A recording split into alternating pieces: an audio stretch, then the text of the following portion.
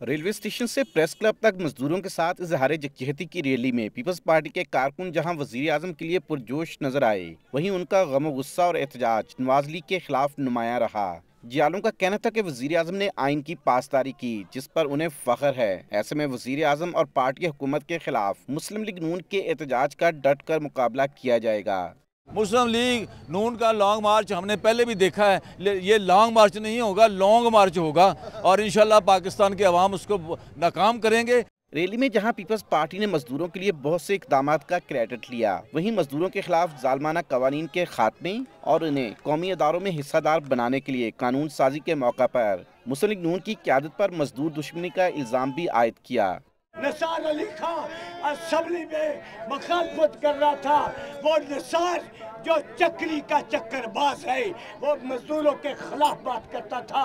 Peoples party के कारकुनों ने मजदूरों के लिए हुकूमती इकदाम को सराहा और तो की कि बजट में मजदूरों के लिए मजीद फलाही इकदाम किए जाएँगे। पीपल्स पार्टी की रैली तो थी मजदूरों के साथ इजहार जगचेते के लिए मगर कायदीन ज़्यादातर मुसलिम की क्यादत और एहतजाजी कॉल की तहरीक के खिलाफ बरसते हुए नज़र आए। कैमरामैन असगर अली के साथ लियाकत सारी दुनिया न्यूज़ लाहौर।